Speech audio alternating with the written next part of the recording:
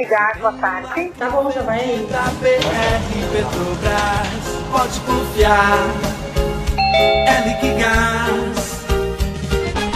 Quem cozinha sabe que na hora de botar a panela no fogo tem que estar tá tudo na mão. Precisou? Tá na mão. Você liga e a gente entrega rapidinho o seu Liquigás.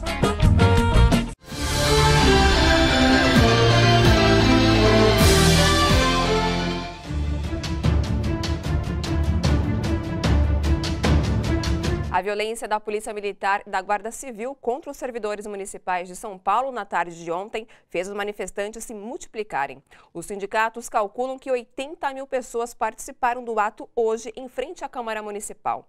Os trabalhadores protestam contra a repressão e contra o projeto de lei que modifica as regras de aposentadoria dos servidores públicos da cidade me senti no circo dos horrores, não é?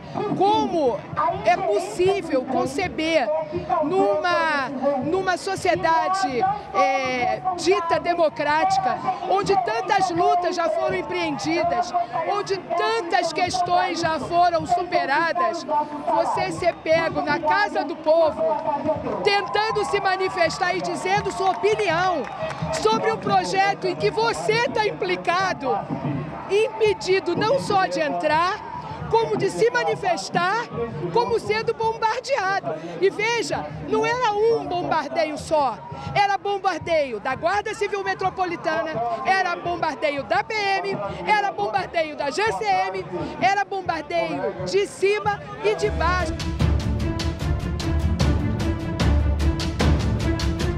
À tarde, milhares de pessoas se reuniram em frente à Câmara dos Vereadores na Cinelândia, centro do Rio, onde foi velado o corpo de Marielle Franco. A reportagem é de Viviane Nascimento. Dor e indignação.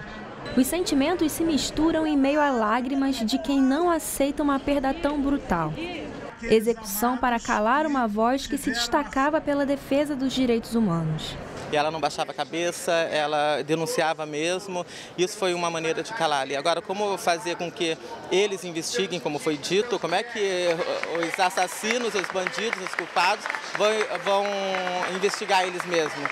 Né? Não tem condições de uma coisa dessa. Então, é, se eles queriam calar a Marielle, o que eles fizeram foi multiplicar a voz dela, Brasil afora e mundo afora. A marca de uma violência que tem cor e classe social. Em três dias, duas mortes de ex-alunos. Né? O Matheus foi nosso aluno.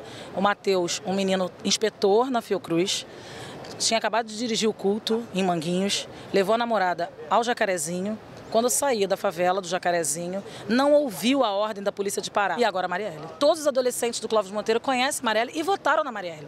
Ela é uma pessoa extremamente, ela não era só uma vereadora aguerrida, ela é uma pessoa extremamente querida. Essas e outras notícias você confere no nosso site www.lagoatv.com.